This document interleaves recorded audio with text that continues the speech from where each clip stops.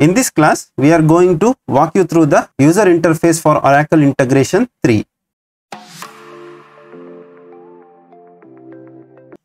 When you log into Oracle Integration 3 instance, you will land into this page. So in this page, you will have the card layout over here that is to quickly get into the integration creation, Visual Builder app creation or get into the insights.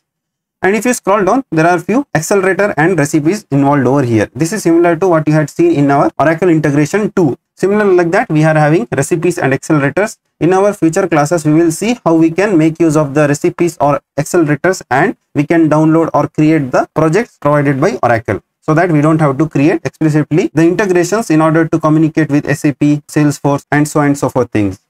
Also, one good thing over here in the recipe and accelerator is the filter by. So here if you want to see what and all Oracle ERP cloud recipes or accelerators are available, then we can click on this icon and get the details of all the recipes currently available in your Oracle Integration 3 version. And suppose if you want to know what are the recipes involved in SAP or for the Slack adapter, then we can click on this and get the details so that we can quickly get into this and click on install so that it can create the integration and necessary resources in order to get you started with this accelerators or recipe integrations. Suppose if you want to create any integrations, you can just click on this create integration and get into the create integration wizard. So from there on, we can design your integrations. I'm not going to click on this. If you click on this navigator menu that is on the left top corner that is hamburger menu. If you click on this we will see so many options. So it is similar to what we had in the oracle integration 2 version but the naming of few of the menu is changed. So suppose if you click on the visual builder it will take you to the separate visual builder instance suppose if you want to get into the settings you can go into the settings you can manage the certificate you can go to this notification and change the notification settings available for your instance. Suppose if you want to change the tracing if you want to turn off the global tracing all those things what we had seen in the integration 2 here it's also available.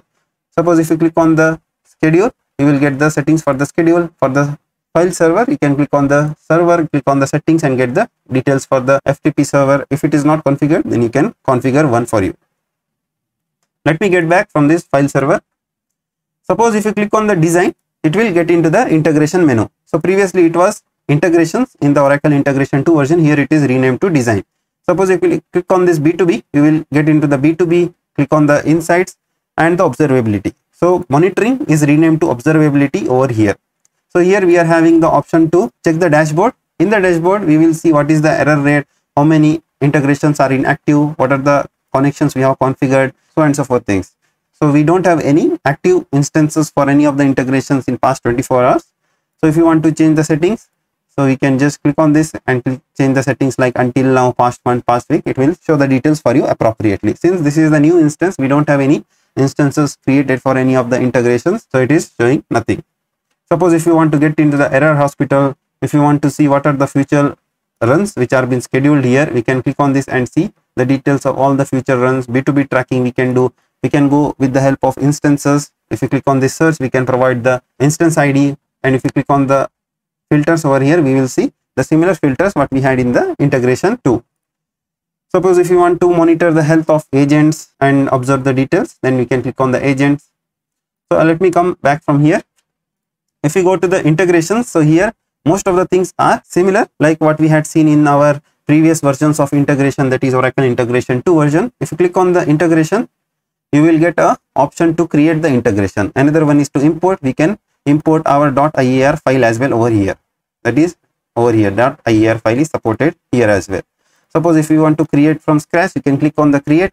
Currently it is supporting app driven orchestration and another one is a scheduled orchestration unlike oracle integration 2 wherein we had one-to-one -one routing file transfer those kind of integration patterns but here we are having only two type that is app driven and scheduled integration in our coming classes, we will learn how to create from scratch app-driven integration and the schedule orchestration. So we will learn both the type of integration patterns with the help of some basic use case we will consider and we will show you how we can create our first app-driven orchestration and schedule orchestration in Oracle Integration 3 instance.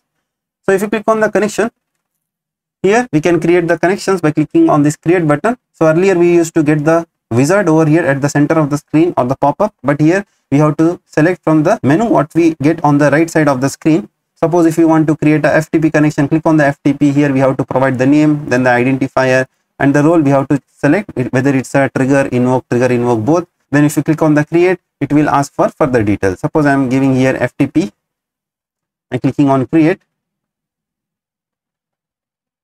It will open up a new window wherein we have to provide further details like what is the host, port, optional properties, so and so forth things. As of now, I'm not creating. Let me get back from here. Next comes the lookup. Like we had in our previous version, in Oracle Integration 3 also it supports the lookup. We can import the previous lookups that is with the help of that CSV or the comma separated file or we can create the lookup from scratch by clicking on this create and providing the name. So it will create a lookup similar like what we had in the earlier version that is in the row and column manner. Libraries we can create with the help of JavaScript. Over here we can click on import and import a previous library as well or we can create the jar or the individual .js files. So .js, .jar and the .zip are supported over here. Let me just close this.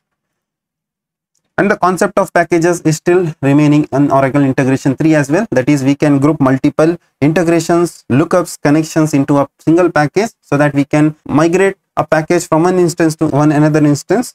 Suppose if you are creating any integrations as part of some project transformation like Salesforce transformation project or ServiceNow transformation project, then what and all integrations you will create like 20, 30 integrations. So when creating those integrations, you can provide the common package name so that it will group under this package and that package will show over here. We will see how the package looks in Oracle Integration 3 and how to export and import and while exporting and importing how it will migrate the integrations with the package.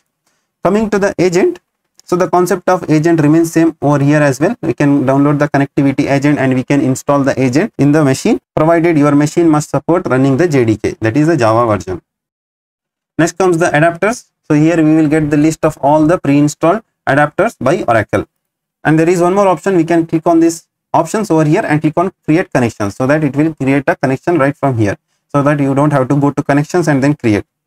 So entire Oracle Integration 3 instance is built on the Redwood theme which we had earlier seen in Visual Builder applications from long time. In our next class, we will have a quick walkthrough on the documentation of Oracle Integration 3. We will see what are the service limits, what are the restrictions, what are the features available in Oracle Integration 3 version.